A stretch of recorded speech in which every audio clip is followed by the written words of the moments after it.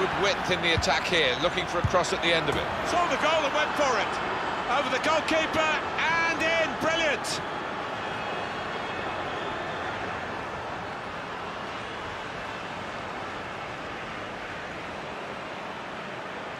You cannot realise how difficult that is to do. On the move, to chip a goalkeeper and get it under the bar. Perfect. Well, you can end up looking a fool if you do try it and it doesn't come off because uh, it is such a difficult skill. He just executed it immaculately.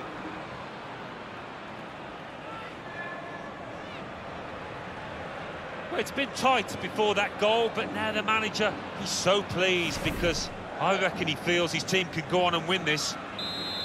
And we